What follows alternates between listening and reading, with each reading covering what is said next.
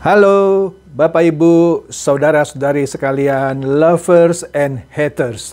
Salam cerdas Indonesiaku.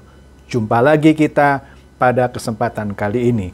Bagi Anda semua yang belum subscribe channel saya, silakan subscribe channel saya, tekan loncengnya agar Anda dapat notifikasi setiap kali saya mengupload video-video saya.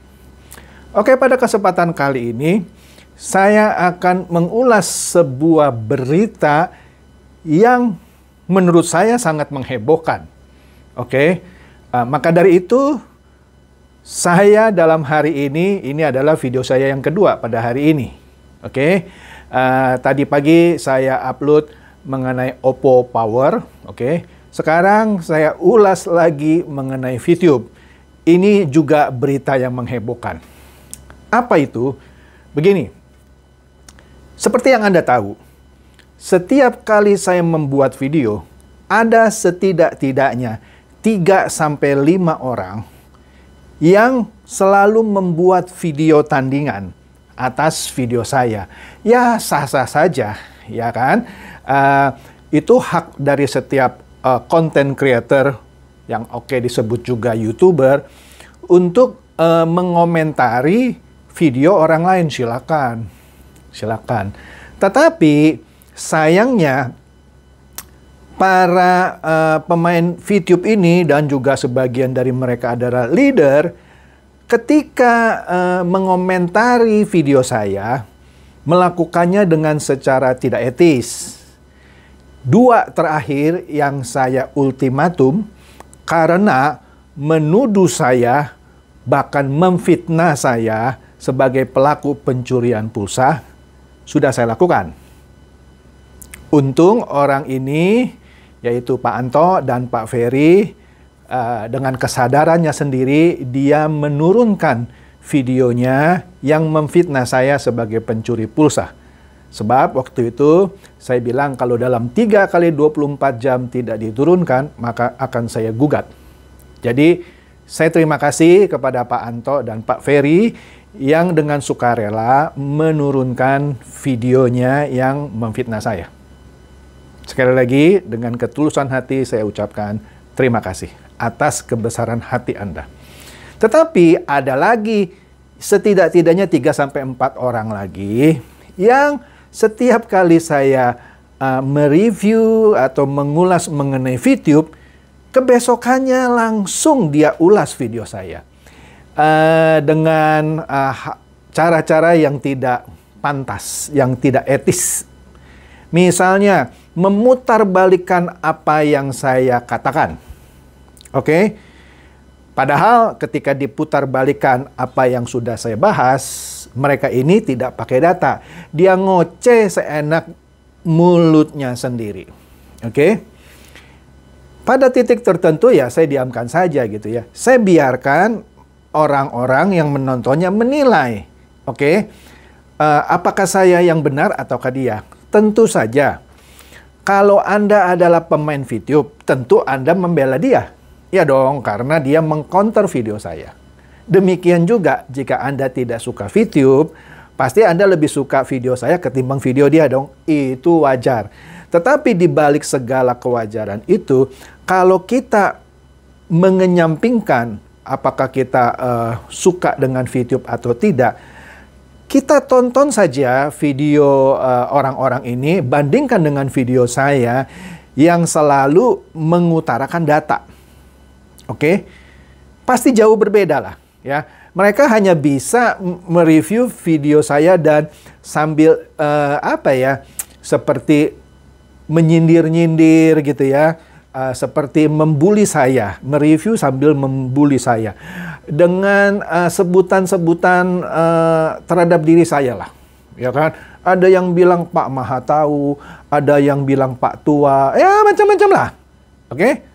Nggak masalah, nggak masalah. Tetapi justru karena kebiasaan yang terus-menerus itu, akhirnya salah satu dari orang ini kena batunya kena batunya. Kenapa saya bilang kena batunya? Dia kebablasan setiap kali mereview menambah-nambahkan uh, pendapat dia yang sebenarnya memutarbalikkan fakta, bahkan justru menyebarkan kebohongan. Loh, Bapak ini nuduh mentang-mentang uh, dia apa sering mereview Bapak, Bapak tuduh dia menyebarkan kebohongan. Saya kasih tahu. Itu kalau saya sendiri yang bilang menyebarkan kebohongan atau berita hoax, mungkin Anda uh, wajar mengatakan itu bahwa itulah pendapat Bapak. Dia kan sebenarnya nggak begitu oke. Tetapi kalau sampai ada pihak ketiga yang netral, oke, okay, apalagi ini media massa, oke, okay, yang menilai dan juga Kementerian Kominfo, oke, berarti saya bukan mengada-ngada kan, oke, saya tidak mengada-ngada kan. Nah kita lihatlah kemarin ini ada berita salah satunya dari merdeka.com. Anda bisa lihat di sini. Oke. Di sini dikatakan bahwa ada sebuah berita yang kira-kira mengatakan VTube itu sudah resmi di Indonesia dan dilindungi oleh pemerintah Indonesia. Kira-kira begitulah judulnya ya. VTube sudah resmi dan dilindungi oleh pemerintah Indonesia. Astaga, kapan pemerintah Indonesia melindungi VTube? Oke. Okay dibongkar salah satu pertama oleh merdeka.com. Nah, merdeka.com mendapatkan gambar ini, gambar anak ini, saya nggak usah sebut namanya lah ya, nanti tambah ngetop nih anak gitu ya. Padahal sudah masuk sini aja, kalau istilahnya di dunia jurnalistik, saya juga pernah jadi jurnalis, oke? Okay? Ketika saya jadi aktivis, ya, uh, mahasiswa, saya pemimpin redaksi jadi kalau saya disuruh berbicara, menulis artikel, udahlah itu mainan saya. Oke. Okay?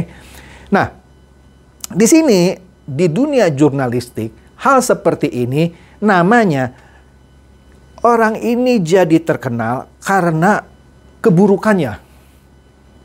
Orang bisa terkenal dari dua hal, karena kebaikannya, eh, ke apa ya, jasanya gitu ya, eh, untuk hal-hal yang baik Orang bisa terkenal. Tapi ini terkenal karena keburukannya. Keburukannya? Menyebarkan kabar bohong, hoax. Anda bacalah, Anda bisa search sendiri kok di merdeka.com, ya kan? Nah, di sini jelas dikatakan anak ini menyebarkan kabar bohong alias hoax. Kemudian kita lihat lagi di sini ada beberapa nih ini saya nih. Kemudian di uh, news uh, portal trend Oke, di sini juga men, um, menurunkan berita. Kita lihat, benarkah bahwa YouTube itu resmi dilindungi oleh pemerintah? Dibongkar, dibongkar. Anak ini lagi mukanya yang dikasih lihat. Nah, itu ada cap loh, cap Kemenkom Info yang menyatakan anak ini menyebarkan hoax. Jadi media massa ini tidak sembarangan juga. Oke, kalau Anda nuduh saya sembarangan menuduh dia, salah. Media massa. Dapat dari data dari mana? Dari Kemenkominfo. Nanti saya kasih lihat datanya, oke? Dua ya, merdeka.com sama news portal trend. Ketiga, kita lihat siapa yang ketiga nih. Bisnis.com. Bisnis.com. Ya, media besar ini dia cek, benar nggak nih YouTube resmi dilindungi pemerintah Indonesia? Ternyata bohong. Anak ini lagi yang muncul mukanya. Dengan cap Kemenkom Info. Aduh, bikin malu deh. Bikin malu. Oke. Kemudian, mana lagi? Kompas. Kompas. Sama. Menyatakan bahwa anak ini menyebarkan informasi yang tidak benar. Walaupun tidak ada gambar di sini. Gambarnya nggak ada mukanya. Kalau tadi kan di merdeka.com, news trend portal sama satu lagi bisnis.com dikasih lihat kan fotonya gitu ya dengan cap Kemenkom Info yang menyatakan anak ini menyebarkan berita bohong. Oke. Nah, sekarang kita lihat gambar-gambar tadi dari mana sih mereka dapatnya? Dari portal Kemenkom Info. Ya nggak berani lah media massa main seenaknya menuduh anak ini gitu ya menyebarkan kabar bohong.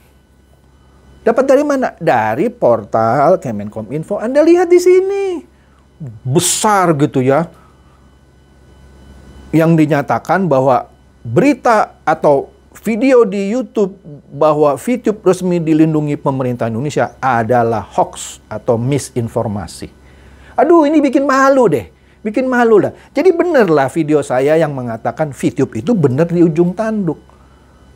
Menurut saya Hong Sui dari uh, Jack Guai itu muncul itu nggak lihat Hong Sui. Ini bercanda ya. Nggak lihat Hong Sui dia. Mestinya dia sebagai uh, orang Malaysia ya harusnya uh, ini menurut tradisi gitu ya carilah hari baik ya jam baik gitu ya kira-kira ya. Ternyata kemunculannya di uh, di apa di video yang disebarkan gitu ya mengundang banyak bencana. Satu jelas kok di dalam video itu dia menuduh media massa itu disuap oleh pesaingnya. Ini kesalahan paling besar dari Jack Guy. Yang saya bingungnya itu nggak ada bagian public relation gitu ya dari perusahaan ini yang menasehati Jack Guy, eh yang kalau yang begini jangan dibicarakan gitu ya. Ini dengan bangganya itu disebar, ya kan? Nah, kemudian dua hari kemudian diblokir itu namanya video. Oke, setelah nuduh media massa itu disuap, mah rasain dah, disajar. Oke, SWI pun gerah gitu, ini sombong banget gitu. Nah, Kemudian kita lihat di sini. Di berita-berita itu, kalau Anda bacalah, Anda bisa baca.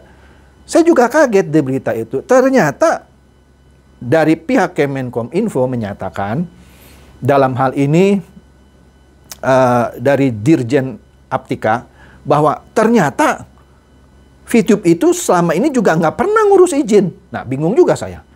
Saya nggak yakin Dirjen Aptika ini Pak Samuel Abrijani Pangerapan yang sahabat saya berbohong. Tidak mungkin.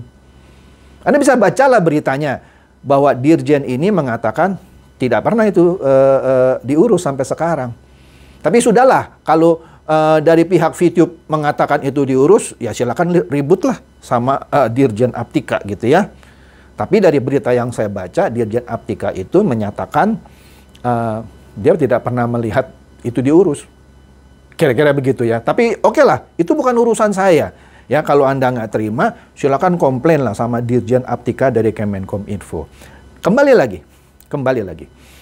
Nah, bahayanya seperti yang Anda tahu, penyebar hoax di Indonesia itu bisa dijerat oleh Undang-Undang ITE. Kenapa? Karena menyebarkan kabar bohong yang bisa menyebabkan kerugian. Bacalah pasal 28 ayat 1 dari Undang-Undang ITE. Saya sudah katakan, saya termasuk tim perumus waktu itu menggodok Undang-Undang ITE. Jadi saya tahulah ya, ancamannya 6 tahun atau denda 1 miliar. Oke. Orang yang biasa sudah diumumkan seperti ini akan menjadi target. Apalagi ini jelas orangnya siapa gitu. Gampang dicari. Kalau misalnya berita yang berseliweran aja melalui WhatsApp, melalui Facebook atau Twitter, Instagram, bisa dicari kok sumbernya di mana gitu ya. Kan kita sering lihat kan di TV-TV, ini loh yang menyebarkan hoax pertama kali. Padahal kita juga tahu, eh kita pernah dapat nih. Oh ternyata dia sumbernya. Itu hasil kerja yang begini dari Kemenkom Info. Dia bisa terusuri di mana awalnya. Meskipun sudah berantai ribuan kali, dia bisa cari. Apalagi ini yang jelas-jelas muncul di YouTube dengan mukanya, dengan namanya gitu ya. Congratulations. Welcome to Undang-Undang ITE. Jadi, saya kasihan banget. Kalau anak ini karena kebablasan membela mati-matian uh, video, akhirnya harus berhubungan dengan hukum. Saya kasihan. Miris. Oke. Okay? Tetapi itu adalah pilihan. Oleh karena itu, saya anjurkan, tapi kalau Anda nggak mau ya silakan. Ya, kalau Anda masih terus mau main-main begini, terus saja ngibul-ngibul gitu ya, Anda akan satu persatu akan jadi target. Oke, okay? karena setahu saya sudah ada beberapa juga yang ditarget gitu, yang menyebarkan bohong-bohongan dari VTube ini. Hati-hati, karena pemerintah sudah serius ini. Oke, okay? Saya nggak main-main, saya cuma ngasih informasi, ya. Anda boleh percaya, boleh enggak gitu. Saya cuma kasih tahu, kasihan anak ini. Ya, maka Anda semua yang bolehlah Anda nggak suka saya, tapi janganlah uh, melakukan hal seperti ini ditambah-tambah dengan kebohongan yang akan merugikan diri Anda sendiri dan berujung ke jalur hukum. Dan Anda berhubungan dengan negara, bukan dengan saya. Saya mah nggak urusan gini. Silakan Anda hubungan sama negara karena yang menyatakan ini statementnya dari Kemenkominfo, bukan dari saya. Saya emang nggak nggak inilah ya. Uh, dalam hal ini syukurlah gitu ya. Uh, sering ngejek-ngejek saya gitu, tapi kenanya sama negara gitu. Waduh, kasihan gitu, kasihan banget. Jadi demikian saja bedahan saya pada kali ini dan semoga ini jadi pelajaran bagi Anda semua yang tidak suka terhadap bukan sama saya saja lah, sama orang lain lah gitu ya Ya silakan Anda counter dengan cara yang beretika dan beradab dan nggak usah tambah-tambahin kebohongan-kebohongan, dipelintir, putar balik gitu ya. Nah inilah akibatnya karena Anda berbicara di media elektronik. Cangkupan undang-undang ITE itu media elektronik. Kalau Anda ngomongnya di luar gitu ya, tidak terbuka di media elektronik, ya tidak kena undang-undang ITE. Tapi begitu Anda masuk apa? YouTube, Facebook, Instagram, WhatsApp itu sudah masuk undang-undang ITE. Hati-hati.